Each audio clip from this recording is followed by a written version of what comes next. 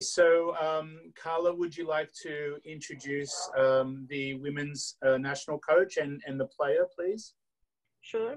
Uh, so let's introduce Dailton uh, Freitas, uh, head coach of the women's national team from Brazil, and Ana Carolina Duarte. It's a very experienced global player from the, the women's team. So, um, is Ana able to come on to video? Ô, Carol, você pode desligar sua câmera? Eu não estou conseguindo. Calma aí, vou ver se ela também consegue. Tá. Aqui, amor. Tá Olá, bom dia a todos. É, Carla, nós não vamos conseguir ativar a câmera, que nós estamos com problema de conexão. Está hum. comprometendo o acesso da câmera apenas no áudio. Entendi. Uh, Murray, they have a problem to turn the video on because of the connection. If okay. they turn the, the, camera on, they will lose connection. So okay. they will that's, just that's stay okay. on, on audio, okay? Yeah, no problem. Um, okay, so uh, to the coach first uh, question. Um, can you tell me a little bit about um, your journey as the national coach, how you came to the national coaching position, and how long you've been in that role for? Então, vamos começar com, com o treinador, Dailton. É, eu queria ouvir de você, Dailton, como foi o seu envolvimento com o Goalball como treinador e há quanto tempo você está é, na posição junto à seleção brasileira? Tá bom. Eu vou falar pausadamente como o Alessandro e, e você vai traduzindo. Na verdade, eu conheci eu comecei a trabalhar né, no segmento para pessoas cegas aqui no Instituto dos Cegos da Paraíba, em João Pessoa, e isso foi em 1992. 93 conheci o Golbol, em 94 aí já iniciei todo um processo de, de treinamento, de estudo. Em 95 foi a minha primeira competição nacional. Então aí já faz algum tempo aí que eu estou envolvido no processo. E aí, em 2001, eu fiz a minha primeira competição internacional nos Estados Unidos como auxiliar técnico da seleção feminina e masculina do Brasil. Então, esse aí foi um, um breve resumo né, de como né, entrei no, no processo, vamos falar, vamos iniciar de uma forma amadora e hoje a gente já, já reconhece de um, e um certo profissionalismo. Uh, Dailton is saying he started in goalball in Brazil in 1992.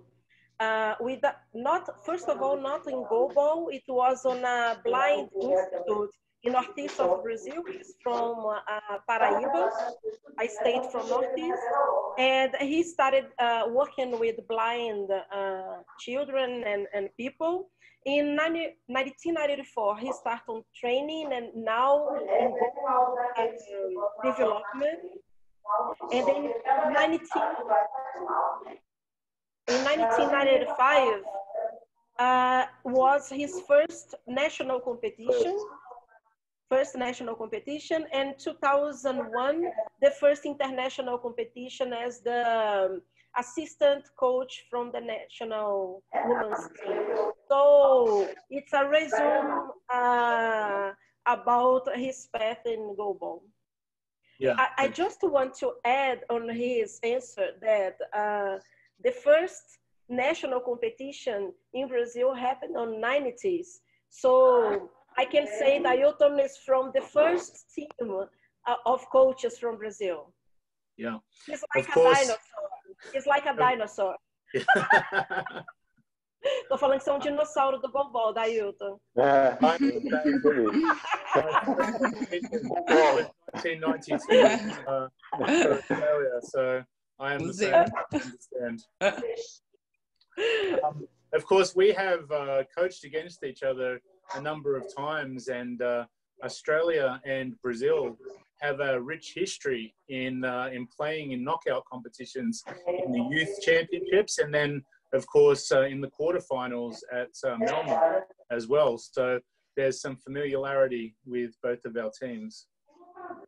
Ele está falando que na história a Austrália e o Brasil se enfrentaram várias vezes, né, Dailton, em competições no goalball feminino, é, inclusive em competições de jovens, e que ele vê algumas similaridades nas duas seleções. É.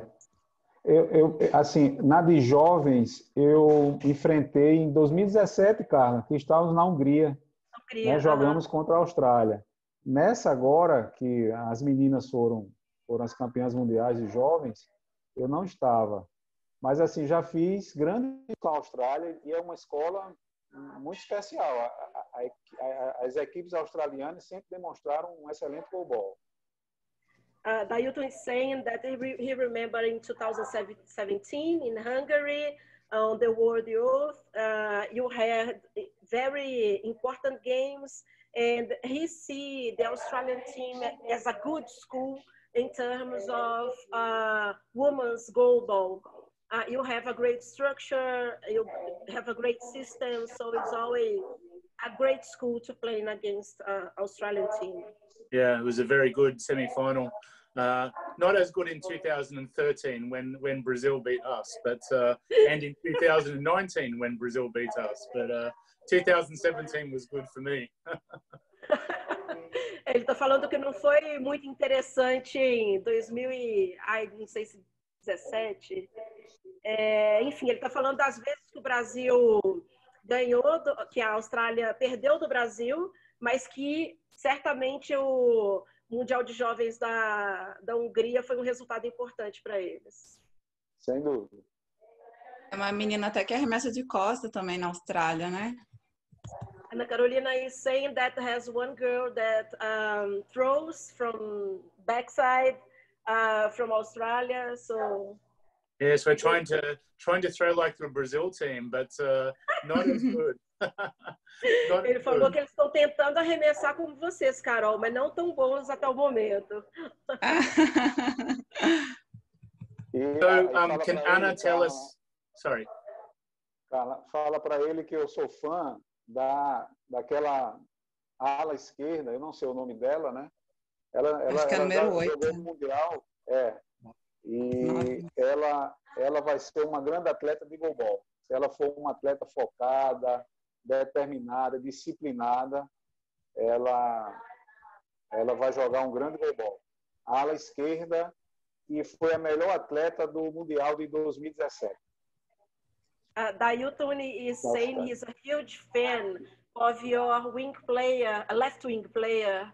Uh, he she was considered the best player in the youth world in Maybe number eight. Yes. Maybe number eight. He's not Brody. sure about that. Yeah, yes. and he's saying that if she keeps the focus and determination, she will be one of the best goalball players in the world. Yes, we're doing an interview like this with her and the Australian coach Peter tomorrow, so you will see that interview as well. Nice. Ele está falando que amanhã eles vão inclusive entrevistar ela e o técnico da Ailton, que ela certamente é uma atleta muito importante.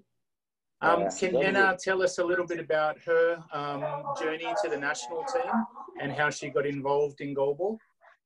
I, I, I will say in advance that Ana Carolina is another dinosaur. But she will tell the story. Carol, ele está pedindo para você contar sobre a sua trajetória no Brasil, quando você começou, como foi, e eu falei para ele que eu já vou adiantar que você é outra dinossauro do aqui no Brasil. Ah, há muito tempo atrás. é, eu comecei o goalball em 2001. Eu tinha 12 para 13 anos, numa, em uma escola, uma instituição especial no Rio de Janeiro, de deficiente visual e nas aulas de educação física, que foi introduzida a modalidade. No começo eu tive bastante resistência para para participar da modalidade, porque todos diziam que era bruta, né? Mas depois que nas aulas de educação física foi obrigatório, aí eu participei e foi eu comecei a fazer gol, né? Por, por, por ter, um, ter força, comecei a fazer gol nas aulas de educação física e me apaixonei pela modalidade. Uh, she's saying that she started in 2001. She was 12 years old And uh, she started on a blind institute in Rio de Janeiro. Uh, IBC is one of the most important institutes in Brazil, uh, regardless uh, the blind um, people in terms of education, sports, and uh, um, some printed uh, material for the schools uh, for the blind. So it was the, the first big uh, institute in Brazil uh, for the blind. So she studied there. And on the physical educational classes, they introduced it. And at the beginning, she was a little bit resistant to play because everybody said that it was a very tough uh, sport. And she was like, not sure if, if she wanted to play but at certain point it became an obligatory uh, subject on physical education. So she must participate. And then in one of the first practices she started to make goals because she could throw uh, stronger than the other girls. And then she got in love with the sport and never stopped it since that. It's a good story É, eu, eu, eu, eu tive a oportunidade desse Mundial de 2002, que, que ele mencionou, e da escola tá levando a gente para assistir esse Mundial, né? Que foi lá no Rio de Janeiro. E foi lá que, que fomentou esse sonho de participar de uma seleção brasileira. And as she's saying, I remember in 2002 at the Worlds in Rio de Janeiro, the school uh, made one day to visit the competition with the students and then she saw the high performance go ball for the first time. And that's that moment on that moment she realized that she uh, would like to be part of a national team. So she got in love with, with the high performance go ball. Great. Tell us about the the brazilian throw as it's talked about around the world um, from a coaching point of view. Obviously um, we saw Victoria um, before Anna um, doing that throw, and then uh, it's taken off. But um, I teach obviously coach at a youth level, and I think um, the control of the ball is really key to the throw. So, could coach talk to us about how that throw was and adopted by Brazil? Uh, ele está perguntando especificamente sobre um arremesso entre pernas que a Carol faz muito bem, com muita eficiência, depois né, fazendo o mesmo tipo de, de arremesso. Como é que foi construída essa técnica aqui no Brasil? Tá, eu, eu sou um técnico que eu também trabalho com. Fecha por favor. É, valeu, mãe. Eu também trabalho com, com a iniciação, né? Eu, iniciação ao goalball e eu jamais apresento um arremesso por baixo das pernas no primeiro momento a um aluno, a, um, a uma criança. Mas isso aí foi estabelecido por algumas, por algumas é, escolas no Brasil e aí se tornou um, um, um gesto puramente nacional, né? Porque realmente para a iniciação das meninas é, o arremesso ele sai mais forte, mais potente. E aí algumas, alguns profissionais, algumas escolas iniciaram esse processo. É um processo que hoje, talvez eu não tenha esse número, mas a maioria das atletas do Brasil, uma grande parte das atletas arremessam, né, lançam a bola por baixo das pernas, né, na condição de ganhar mais essa, essa força. Uhum. E aí, a partir do momento que você vai treinando, vai treinando, automatiza o gesto e aí se torna um elemento, claro, hoje positivo para o global brasileiro. Eu falo particularmente porque eu trabalho com iniciação esportiva e não apresento esse arremesso, mas alguns colegas profissionais de muitas escolas do Brasil fazem esse gesto e aí hoje é um, arremesso né, que iniciou aí na escola, né, que era o São Paulo, do Benjamin Constant do Rio de Janeiro. Ele iniciou essa, esse gesto e aí se tornou comum no Brasil. E hoje muitas atletas fazem esse gesto com muita eficácia. E aí quem somos nós para mudar ou pelo contrário, aí a gente aperfeiçoa. com os treinamentos. Dailton is saying um, when he works with initi initiation like youth players, uh, at the beginning he never works with the throw between legs. Mm. But in the history in Brazil, this became a very common um, kind of throw in other institutes and other schools. And the first time it was used was uh, on the institute that Ana Carolina came from, Instituto Benjamin Constant from Rio. And it, uh, it spread in, all over the country by other teams. So um, some players use the throw between legs to gain more strength, uh, more power on the throwing act, and they do with a very efficiency on this kind of throwing. But um, he's not the, the best person to judge if this is the best uh, way to, to start or not. It works with, with many players. Then he just improve that with the players that come to, to him to, to train. So um, it's not a kind of throw reinforcing just, uh, he's not a kind of throw, he works at the first place. But if one player has this kind of throw and come to the national team, he will help them to improve and to have the best efficiency on the yeah. on that. Um, from uh, I guess a team point where you won bronze medal uh, in Malmo, what do the team have to do to get to that next level in gold or silver medal at, at Paralympics? What from a coaching point of view, and then asking Anna from a player point of view, what do you need to do to get to that uh, Russia, USA, uh, China, uh, obviously um, Turkey level? Um, ele está perguntando, depois que vocês é, conquistaram a medalha de bronze em Malmo, quais são os próximos passos para vocês avançarem aí em termos de conquistas, né, de me ainda melhores resultados, pensando em seleções como Rússia, Estados Unidos, Turquia, é, como é que vocês pensam esse processo? Tipo, seria um, um passo para um, entre aspas, um próximo nível, né? Um nível mais alto em termos de resultados. É para os dois, Carol? Para os dois, para os dois. Aí, então, Carol, se você quiser.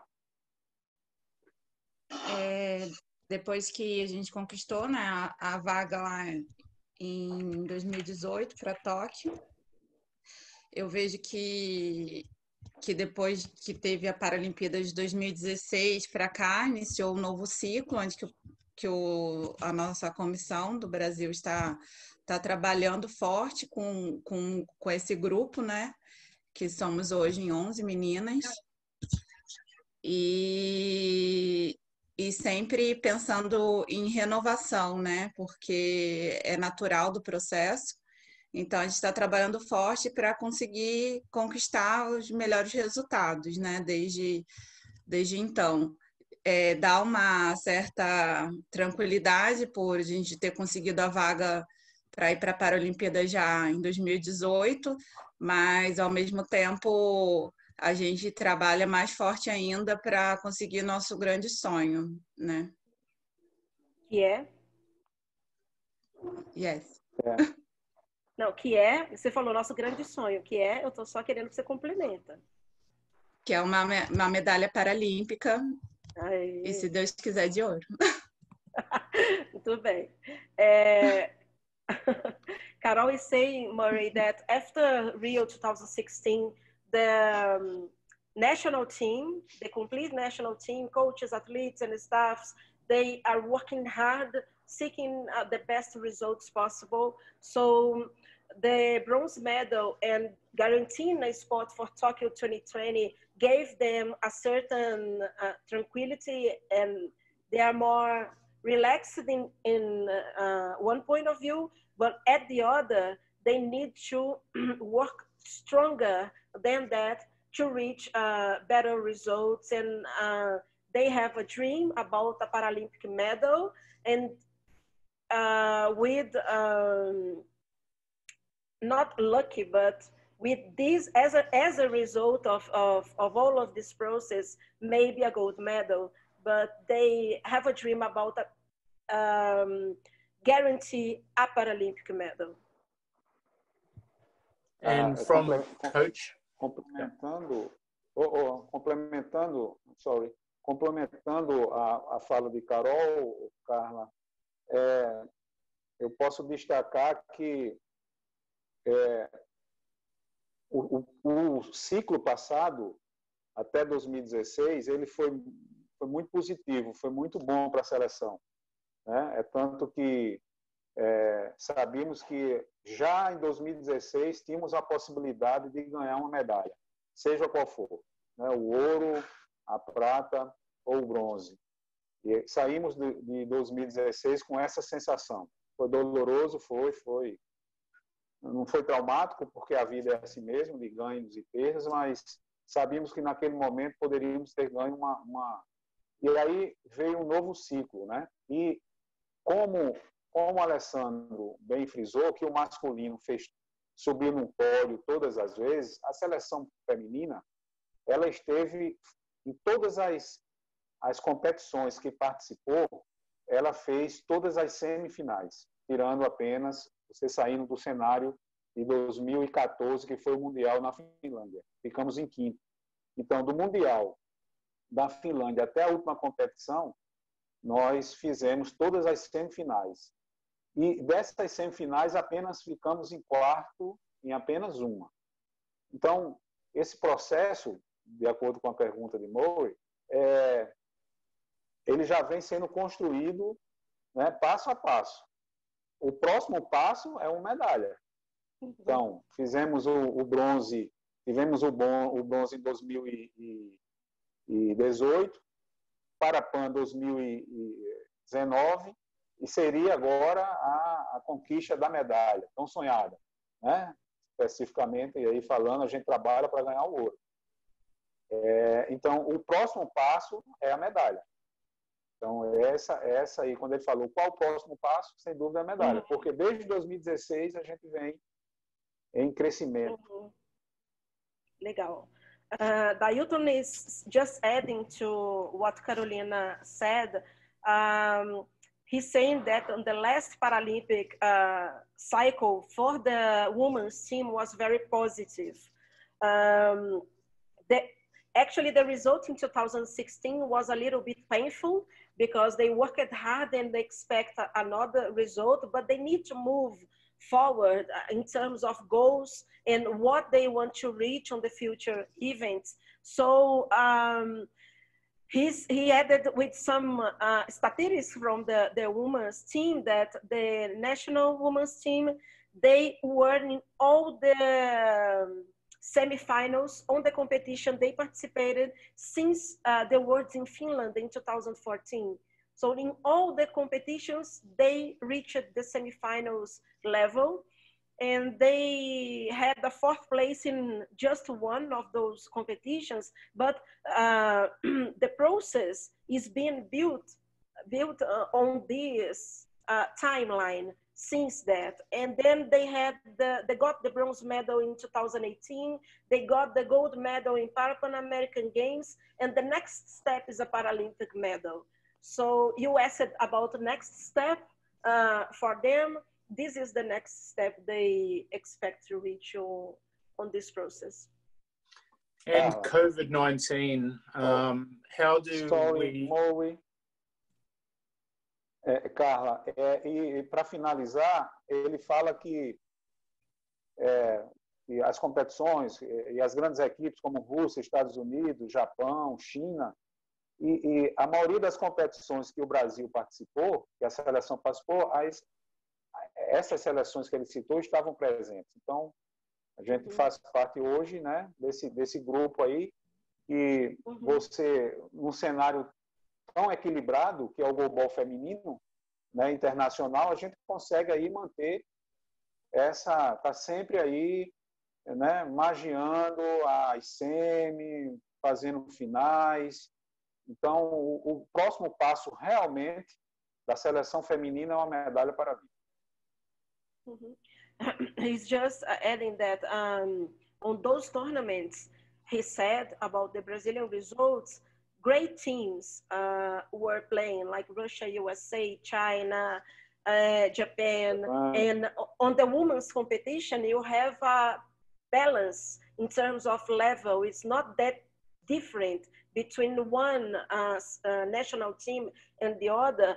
And they could keep on this scenario with high level teams, they could keep uh, very important results on the past years. So uh, for sure, the next step, the next level is a Paralympic medal. Yeah, absolutely. The women's competition is very deep. And so any one of the 10 teams could really make a quarterfinal or a semi-final. Um, how does uh, the coach and the players prepare for such an even competition? Ele está falando que a, a equipe, a competição feminina ela é muito equiparada, né? O que você acabou de falar, né, Dailton? Em termos, o nível é. não é tão distante de uma seleção para outra. E já que as seleções são tão equiparadas tecnicamente falando, como é que vocês se preparam para enfrentá-las? Então eu pode vou falar, começar, tá, Carol? Tá. Não, pode falar, o senhor que nos prepara. Tá ok. Ah, ah, o, o, Brasil, a seleção, as meninas, as atletas do Brasil, a nossa seleção, ela, ela teve uma evolução é, gigantesca nas questões emocionais, né? Hoje a gente tem uma equipe muito equilibrada emocionalmente. A gente conseguia fazer grandes jogos e geralmente os finais de jogos eram terríveis, né? Às vezes a gente estava com esse equilíbrio, os jogos não passam de dois, três gols. Quando os jogos, a maioria dos jogos, nossa, é, nesses últimos jogos aí ou competições fizemos muitas é, mortes súbitas, porque isso demonstra um equilíbrio muito grande entre as equipes femininas do mundo. E aí, para que isso né? Para você quebrar isso, é, é, necessário que você tenha um, um, lado emocional muito equilibrado. Então, evoluímos nesse sentido. E priorizamos muito é, que de algumas seleções podemos trazer coisas, é, aspectos importantes. Um exemplo, do Japão, que é uma, uma, uma equipe muito forte, trazemos ali a concentração e, e a parte defensiva. É, da Turquia, né, a ofensividade para diversos tipos de bola, né, bolas, bolas lisas, bolas potentes, bolas quicadas, da Rússia, enfim, de cada seleção tentamos colher o melhor, estudamos as atletas individualmente, estudamos as, as equipes né, através de estatística e, e, é um, foi uma forma de encontrarmos a quebra desse equilíbrio. Então, como é que se pode desequilibrar um jogo na, na, no global feminino internacional? É você estudando o atleta, estudando a, a equipe, a forma, as táticas defensivas e ofensivas, e, claro, preparando individualmente e, e, e, e o grupo, né, a equipe, né, a, a parte emocional. Com isso, conseguimos desequilibrar muitos jogos que, que muitos jogos, muitas finais, né, muitos jogos importantes que, que fizeram parte do nosso ciclo até, até, até o 2019, né? Uhum. É, Deixa eu só terminar de anotar aqui, porque você me ajudou agora, tá. viu, Daí? Então, anotei uma folha aqui para traduzir. É porque é, é... é, muita coisa, mas você entendeu, né? Não, não, não. Eu entendi, eu entendi. É, são, é... São esses, são, na verdade, são esses três pontos para desequilibrar essa, essa estrutura, né? Que é, você ter uma parte emocional muito forte, e isso crescemos muito. É, ser uma equipe defensiva, né? Uhum. Que trazemos isso de algumas equipes no mundo, que no caso é a japonesa, uhum. e, e manter uma, ofensiv, uma ofensividade a nível de ataque, que temos um ataque muito, muito bom, muito de excelência, e, e sem dúvida, e aí, é, como exemplo, a Rússia, que ataca muito forte, a Turquia, com vários tipos de bola, né? e algumas outras. Ok. É, Dailton, I'll try to remember all the all the information. Beata had a lot to say. yeah, yeah, yeah. Uh, but um, Dailton, Dailton is saying that uh, the athletes from Brazil, they have a big evolution on the emotional uh, component, on the emotional uh, characteristics, how they deal with this pressure uh, of the competition. Sometimes they started very well a tournament, and at certain point they couldn't handle it anymore, but because of this emotional aspect. And then uh, they understood they need to control that, find some, some strategies to control uh, this, this aspect of the team. And then they started studying some very traditional teams and what they were doing and trying to collect the best of each team to prepare their own team. So from Japan, for example, they observe the concentration, the defensive um, aspect. From Turkey, the offense uh, aspects like how they have different kind of offensive strategies, different throwing balls uh, at different moments of, of the game. And they were just collecting uh, these, those information from the most experienced teams uh, worldwide. And then they made um, statistics and they transform all the information on a training system to prepare better uh, the Brazilian athletes. So they understood better athletes, uh, they understood better the team and uh, individual, individual emotional uh, characteristics and team emotional characteristics because they have both uh, both ways. And then uh, they finally, after all of the of this study, they could broke uh, this. It's like broke a barrier of the emotional uh, aspect that at first time it was a problem and then it's not anymore because they can control, control better the emotions uh, and i believe from the whole team um, individually and as a team aspect. And then today they they seek for having a better offensive attack uh, attack and a better defense more consistent and this was built based on the studies they made from other experienced teams. Carol, yeah. você quer falar? É, não, é só a questão que eu queria complementar, que os nossos é, resultados hoje, ele vem de uma história lá, lá atrás, né?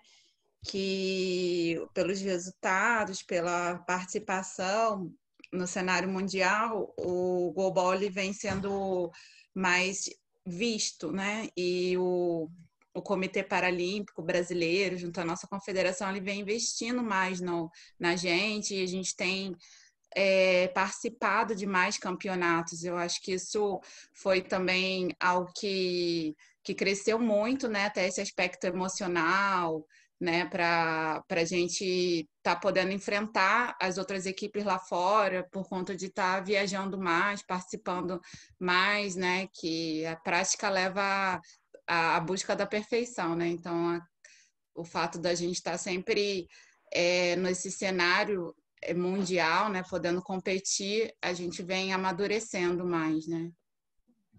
Uh, Carol is just adding to what Ailton said, that the best results, uh, the, sorry, the actual results, they come from uh, a whole history from the past competition.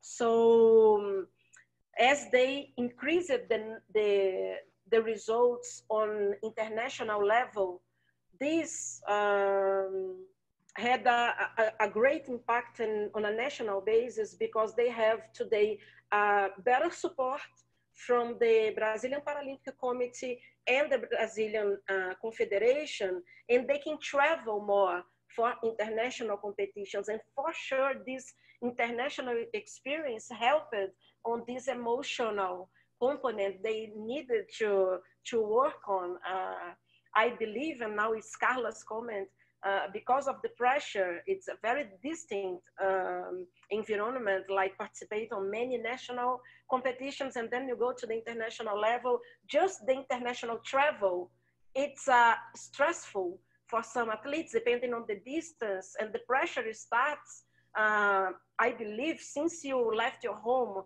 for international tournament, uh, and then uh, he's just, she's just um, adding this international participation uh, helped a lot on this emotional control. Yeah, absolutely.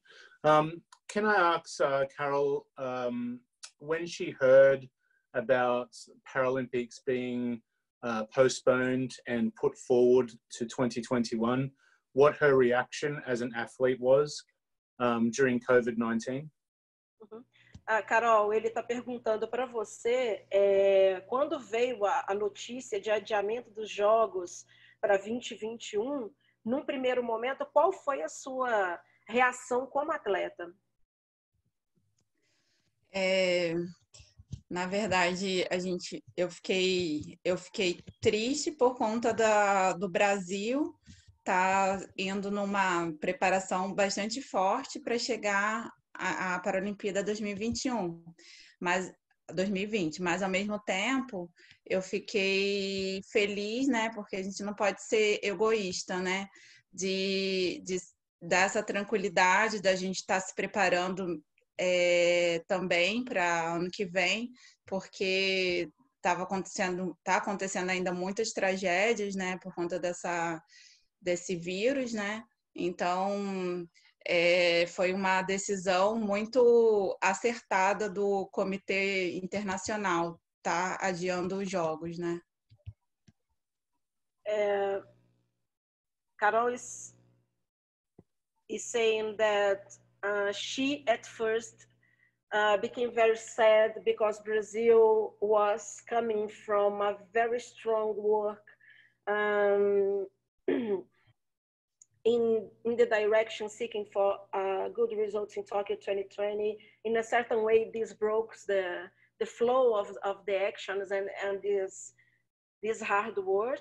Uh, they were um, passing through a very strong preparation uh, for the games, but at the same time, she stayed happy because in her opinion, we cannot be selfish and because of the tragedy uh, generated by the COVID-19, uh, the postponement was the best uh, decision the committee could have, thinking about healthy and security for, for all, not only the athletes.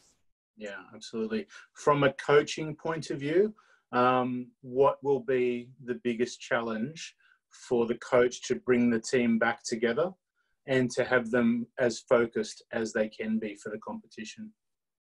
O Dailton, do ponto de vista do treinador, né, qual é o, o maior desafio nesse período, né, que com interrupção dos treinamentos e quais serão as estratégias para colocar essa equipe no mesmo ponto de novo, né, digamos assim?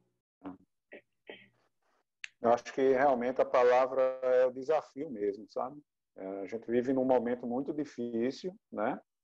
Desde quando a gente recebeu o comunicado em março que todas as atividades iriam parar, concordo com, com Carol, não poderíamos ser egoístas, né? Primeiramente, a saúde de todos, eu, né, nesse momento aí, para tentar não se né, escapar aí do Covid, pensar na saúde nossa, dos atletas, dos familiares e depois replanejar o que já estava muito bem planejado, né?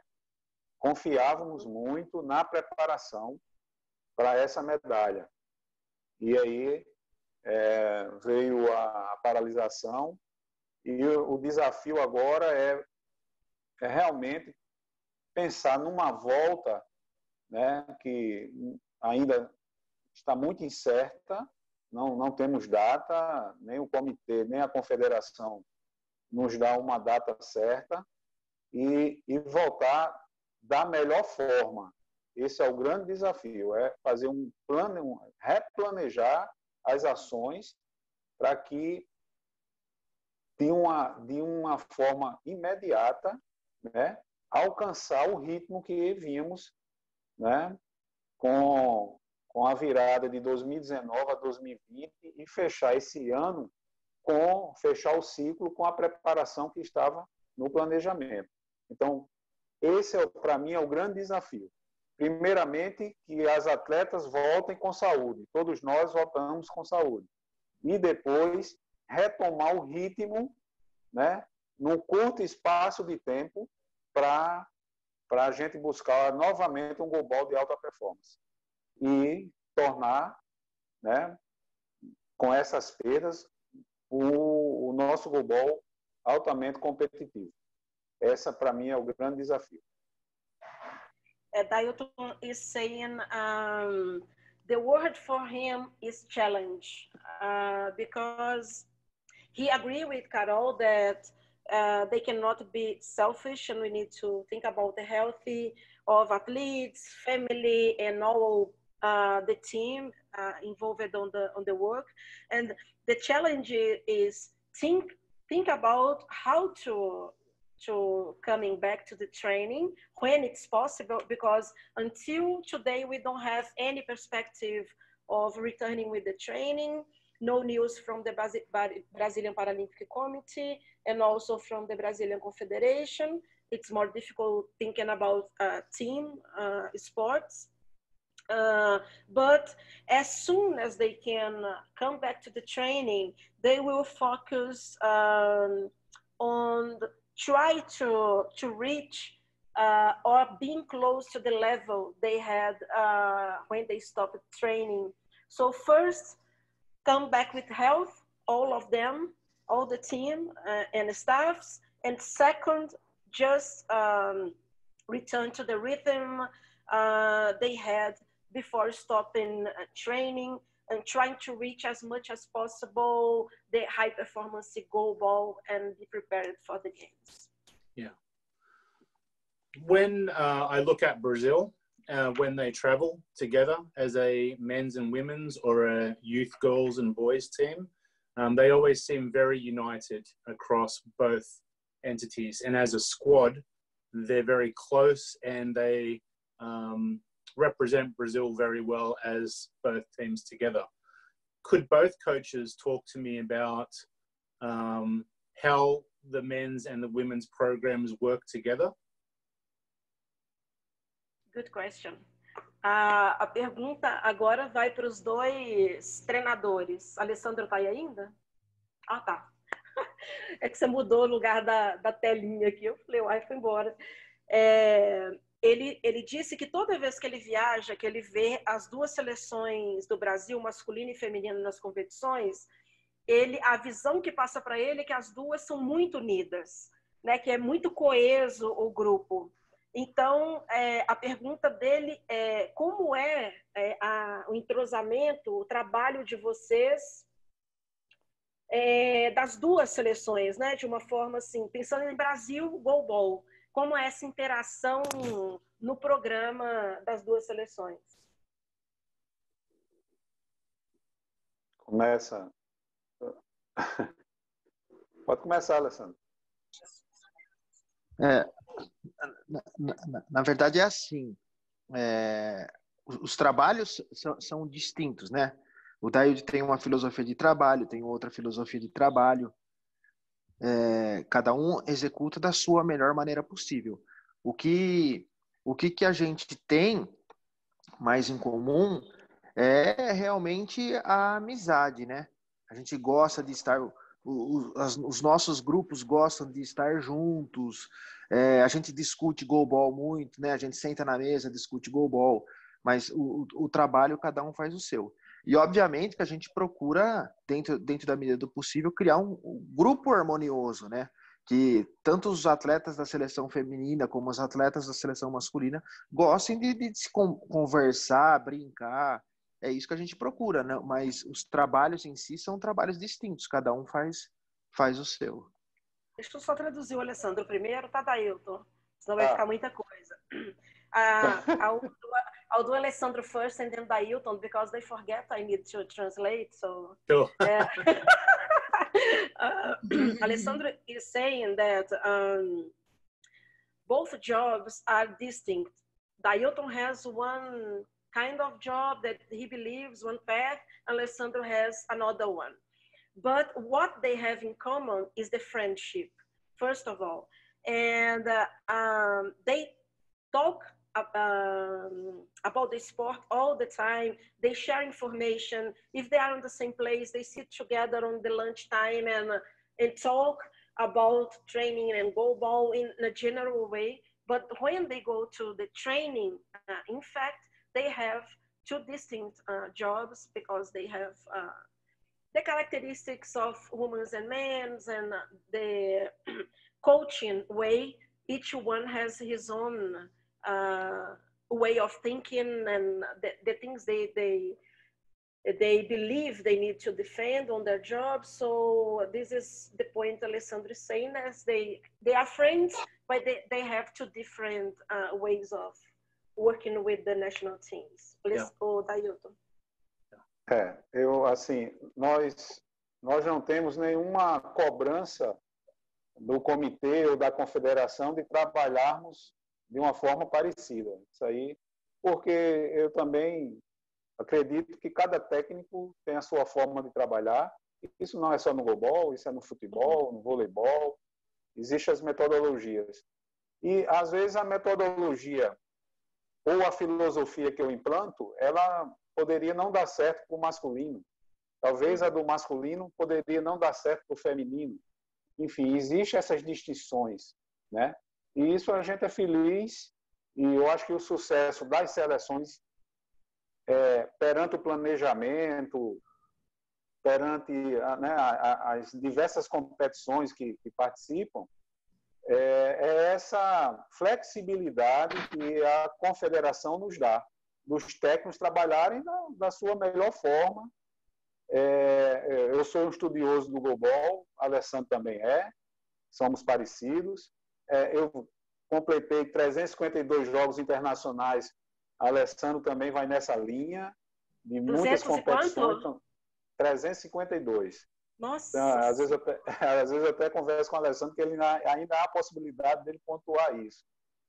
E, e, e assim, e quando a gente está num cafezinho, quando a gente está no cafezinho, a gente está falando de global o tempo todo. Agora, as filosofias são implantadas é, de acordo com o que você tem. A seleção feminina de uma forma, porque é daquela forma. Seleção masculina daquela forma. Eu, eu trabalhei é, em Pequim com os meninos. Então, será que a filosofia hoje daria certo em Pequim? Então, a gente está no momento certo para o que, o que é. É, é. é. Eu acho que, que é isso. Então, essa relação trabalho dentro de quadra, né, preparação, são formatos distintos. Agora, fora de quadra, somos amigos, é, é, dividimos o mesmo centro de treinamento, as, as mesmas chegadas, as mesmas saídas, as mesmas viagens. Isso nos dá uma condição de sermos amigos, de sermos, de sair de uma família e entrar em outra. Eu vejo, eu vejo o Gobol, o Gobol brasileiro falando em seleção dessa forma. Eu saio, eu deixo minha família por 10 dias por mês para ir para outra família. Isso aí não é demagogia, e se eu não for com esse pensamento, eu não vou me sentir bem, as coisas não vão acontecer bem, né? Porque ali cada um tem o seu mundo, cada um tem a sua forma, e a gente passa sete a oito meses confinados no centro de treinamento e dá certo. Porque há o respeito envolvido, a amizade, né? a, a aos, assim, aos interesses próprios, mas também muito mais coletivos. É, se as meninas torcem pelas meninas, as meninas estão torcendo pelos meninos. Enfim, ninguém sabe quem é seleção feminina e masculina naquele grupo. Então, acho que foi um ponto que evoluímos muito e eu agradeço a Deus por isso estar acontecendo. E ele está sendo, está nos beneficiando por isso. Então, se você puder resumir isso, Carla, para ele. Eu, eu fiquei até emocionada, para te falar a verdade. Porque essas, porque essas medalhas estão aí no peito. Eu fiquei, eu tô contando a saudade do Golbol, que eu fiquei até emocionada agora, juro pra você. É. Peraí, deixa eu respirar. Sorry, I, I got emotional with his answer. Um, uh, that, uh, I'm sorry, I'm just. That's okay. It's good. Coming. yeah, yeah, yeah. Calma, calma, Um, calma, calma. Nossa, eu fiquei emocionada mesmo, de verdade. Uh, Dailton is saying um, that the same, uh, in terms of what Alessandro said before, the own ways to conduct the, the national teams. And uh, there's no pressure from the Brazilian Confederation or Brazilian Paralympic Committee to have the same methodology, the same methods for both uh, national teams. So they discover their own way based in what they have, the team's characteristics, and um, he's saying uh, maybe the methods for the men's team never worked with the women's team, um, but they have the autonomy to construct a, a way of training based in what they believe. And uh, both coaches, Dailton and Alessandro, they study go ball for many years. And then as two persons that study a lot uh, the and he said, I didn't know that he has 352 international games. Wow. I, I didn't know that. Um, he said that the philosophy that each one uh, use with the team is based on what they have in their hands to work with, like the athletes' characteristics and structure uh, of training. And in Beijing, he was with the men's team, uh, Dailton saying, and uh, he's just asking uh, the methods that we used in Beijing would, was going to work. They were going to work with the women's team, maybe not, but uh, outside the court, and we are friends. And this is a very strong uh, relationship. So he say when they are leaving the homes because they have some uh, training phases along the year, and when they are leaving their homes, their states, their families, they are going to prepare to enter in another family this is a feeling. I'm leaving my family to to be with my second family, and um, they see uh, both national te- teams very close in terms of this thing of when the girls are playing, the men's are yay on the stands, and the opposite is the same. Uh, so at this point of friendship and, and, and to be close, they are just one team uh, thinking about the friendship. But when you think about specific job from the national teams, they have their own way to conduct the, the players and the, the job. Yeah. I think the family aspect is really important and yeah. that brings the, the team together. And when you represent your country, um, it's that uh, family feel and that trust that you have that brings yeah. uh, good results as Brazil yeah. has had. Ele está falando sobre essa coisa do sentimento nacional, né? Que quando você sai para representar o seu país, é todo mundo naquela mesma expectativa, na mesma pegada de ter o melhor resultado. E isso na base de muita amizade e de confiança também, né? Que foi construído. Quer falar, Alessandro? É, na verdade, é, também a gente deixar bem claro, né? Nós amamos o goalball, nós somos um, um amante do goalball, né? E, e, e essa paixão pela modalidade para cada vez mais ela crescer, a gente precisa de uma harmonia entre os grupos. E, e, uma das formas da gente também demonstrar isso é a gente sentar numa mesa, tomar uma cerveja e continuar falando de goalball, que é um grande prazer que a gente tem, né? Em todas as fases de treinamento a gente procura, né? Sentar um pouquinho, conversar. A cerveja tem falta, né, Delton? Mas do resto vale, vale. vale... Ai, vale, tá vale a pena. E isso ah. mostra o quanto que a gente gosta da modalidade, mas também a gente não pode deixar de destacar as grandes estrelas são os atletas. Nós simplesmente preparamos esses atletas, eles que têm que brilhar, eles que têm que ser a maior estrela de tudo que a gente discute e tenta, claro. é, na verdade, a gente resolve problemas para potencializar esses atletas. Mm-hmm. Um, Alessandro is just adding to to um, that the one issue that is very important here is we are we love goalball. We are crazy about goalball around here, and for this feeling to to grow, we need the harmony inside the group that is working with and developing the sport uh, in the country. So they have distinct jobs, but uh, the good thing is after the game or after finishing uh, one day, they sit and have a beer and they continue talking about goalball. And these they just show how in love and how committed with the sport they are. We are not having too much beer at this moment because we cannot be together. Sad. Sad. he said and it said. uh, but uh, at, at the final end of this conversation, we need to understand that the stars are the athletes and we need to work for them to shine and, and to help them to, to reach the best uh, performance uh, as possible. So it's work for them to shine, and, and this yeah. is the main purpose. Can I ask Anna uh, Carolel um, if can she tell us about the social aspects of goalball for her? How she has made friendships and um, how she feels supported playing goalball in in other parts of her life?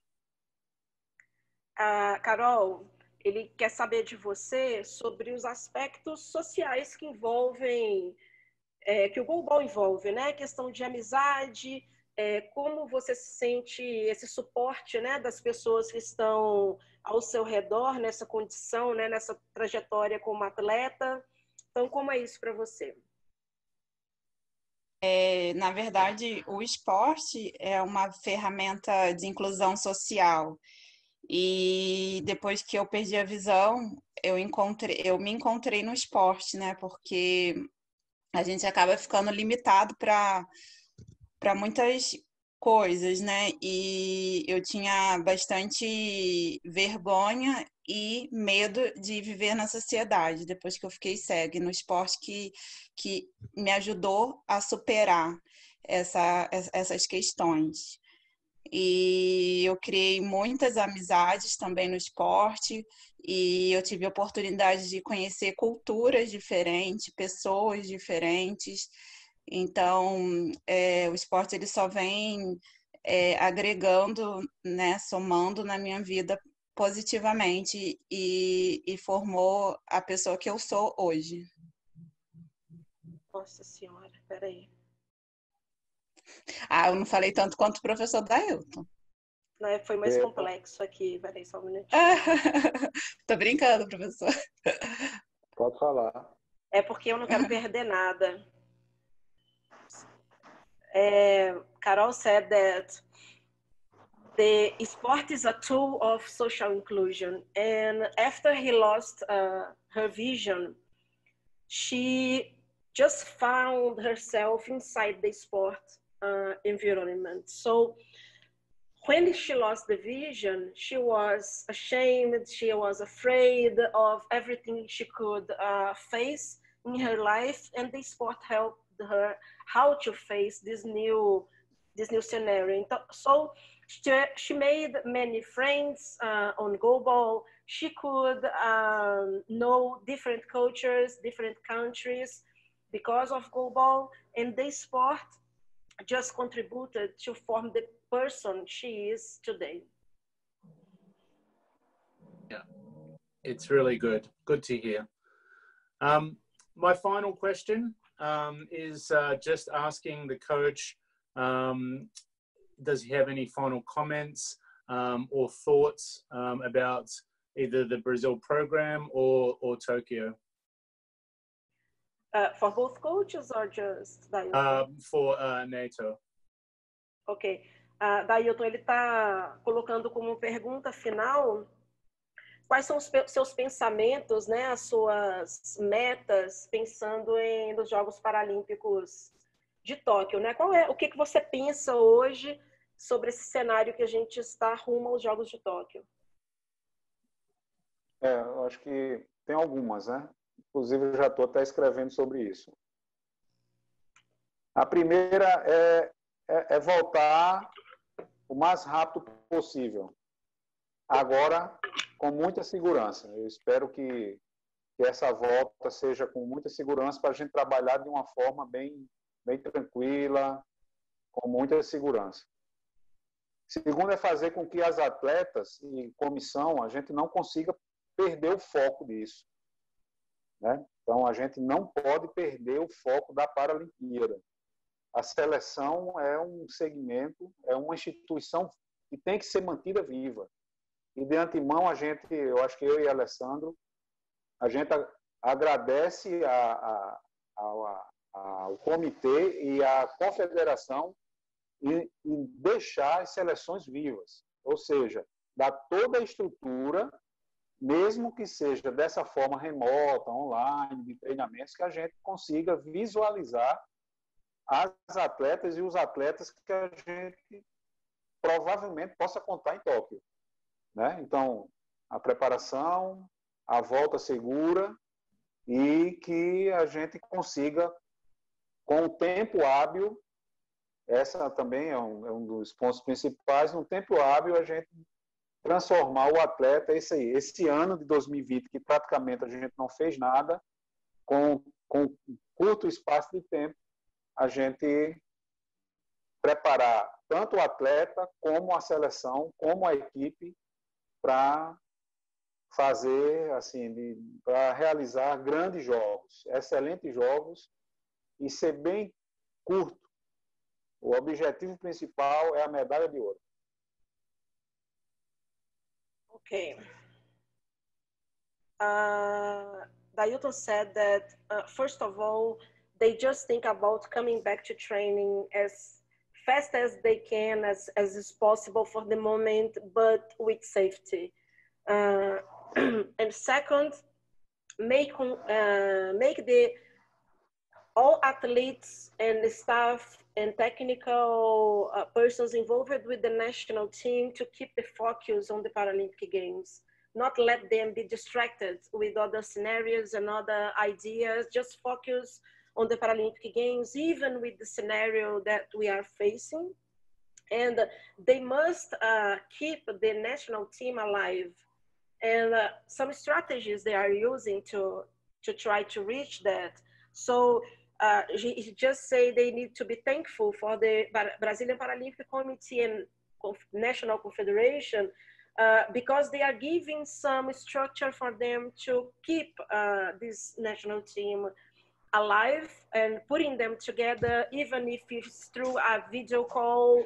It doesn't mm-hmm. matter the strategy, but um, they need to keep uh, people close and on the same uh, focus for the games and at uh, the end, when they come back to the training, uh, to the practical training, they have the challenge to prepare this team for great games uh, as the best they can do that uh, and reach their biggest goal, that is to reach the gold Paralympic medal. Yeah, I really appreciate um, that, and I think Brazil has a lot to give. Um, so you're very experienced, you have good people, good programs. So I will be engaging with Brazil a lot, and I appreciate everybody being available today. And it's starting points like this where we change how things have been done and how we're going to do things in the future that all of us together have the same goal. So I'm looking forward to it. Nice. Ele está agradecendo a disponibilidade de todo mundo e falou que com certeza vai conversar muito com o Brasil, né? O Brasil tem muito a oferecer baseado na experiência e nos resultados que tem alcançado. Então, mais uma vez agradecendo aí a disponibilidade de todo mundo para conversar hoje. Tá bom. Thank you, thank, thank you, Murray. Thank you, everyone. Obrigado. Thank you. I appreciate. Thank Have a lovely day. Stay safe, and we will talk soon. Thank you. You too. Okay. Okay. Bye bye. Thank you. Bye bye.